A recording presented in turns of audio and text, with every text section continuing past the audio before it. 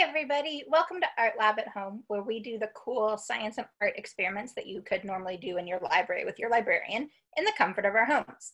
My name is Kady. I am the children's librarian at the Clarkston Library, where you can normally find me. Uh, but right now, I'm stuck at home like everyone else. This is my sewing room. You can see it's a little messy behind me. It's been a long two months. We're going to ignore all that. And today, we are going to talk about secret messages. You ready? So there's a lot of different ways to send secret messages. Um, there's invisible ink, or you could use a cipher. And a cipher basically means a way of scrambling up words uh, so that someone else has to unscramble them to figure out what they mean. You've probably heard of a substitution cipher where you take one letter and replace it for another. Um, but there are hundreds of types of ciphers. And today we're going to talk about what I think is the coolest cipher. It's called a Scytale cipher. Cipher. That's a hard word to say two in a row.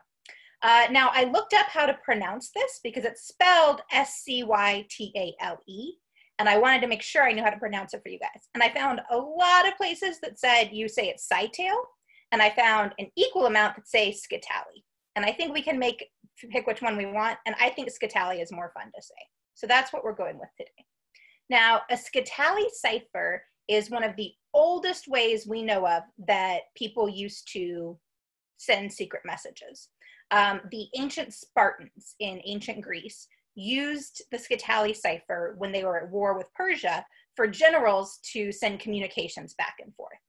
And the way that it worked then is that each uh, Greek general had a cylinder, kind of like this, and it was of equal length and of equal width as all of the other Greek, cylind- Greek general cylinders. And when they wanted to send a secret message, they take a long strip of papyrus, what they used as paper back then, and they'd wrap it all the way around their cylinder. They could write out the message, and then when you unwrap the cylinder, all of the letters are jumbled up. So that long strip would get sent over to another general. They'd wrap it around their cylinder, which again was the exact same size and the exact same width and they could read the message. It's pretty cool. It's like a very neat way to send secret messages. And you don't have to like spend a whole lot of time trying to figure out invisible ink or writing a key for your cipher. You just have to make sure that each person on the end of your secret message chain has a cylinder that's the exact same size. Um, and so what we're going to do today is make our own Scytale ciphers, but we're going to use things that you can probably find around the house to do it. So let's get started. Today, you're gonna need some tape, something to write with, some strips of paper. As you can see, I'm still using up my scraps of paper that I was using in the symmetry one last time. Um, these are about half an inch by 11 inches, and that's a great size. That half inch size really works well for this. Um, you're gonna want a couple of them, and you're probably gonna tape them together to make one really long strip. And the last thing you need is a cylinder. Now you can use a dowel like I have here, but if you're just starting out or just practicing, something a little bit fatter or wider is gonna be much easier to deal with. So you can use a water bottle as long as the person that you're sending your message to has the exact same water bottle. Or, and I think this is super easy, you can just use a toilet paper tube roll because those are the same size like pretty much everywhere. Okay, so we're gonna use this today. And the first thing that you're gonna do is tape together a couple of your strips of paper so that you have one long strip of paper. And then you're gonna tape the end of your one long strip of paper to the side of your toilet paper tube. And then you're gonna start wrapping that piece of paper all the way around your toilet paper tube roll. And you want to make sure that your edges, you guys see that, are coming really close together, but that they're not overlapping. So once you get it wrapped all the way around,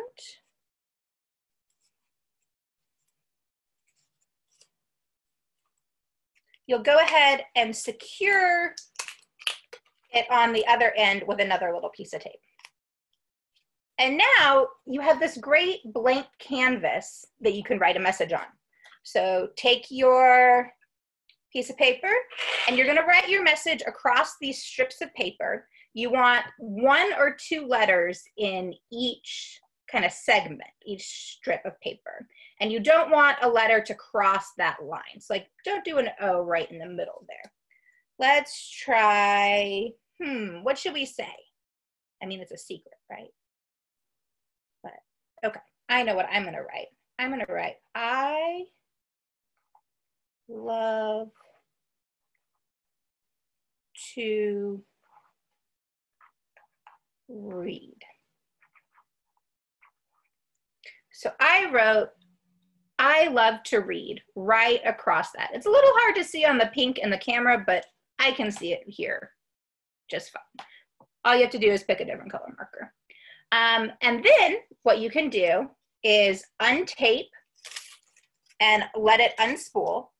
And as you can see, now I just have one long strip of paper. That tape job didn't work so well. And it's got a whole bunch of letters on it. But they're all kind of like separated and jumbled. And you can't really see what it says. Now, if that still isn't good enough for you, you can rewrap. The rewrapping takes a little bit of time. It's just something you have to practice.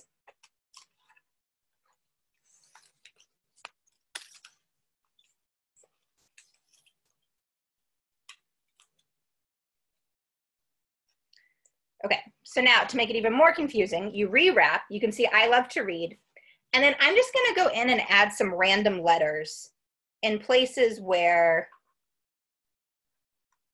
it doesn't affect the meaning of the message, but they're like still, you know, hanging out. So you could see that ZXP and be like, what's that mean? But you look down and you can still see I love to read. And then I'll put maybe a Y and a K below it. So now I've added in extra letters to the mix. And that just makes our strip of paper, when it's unraveled, even more confusing.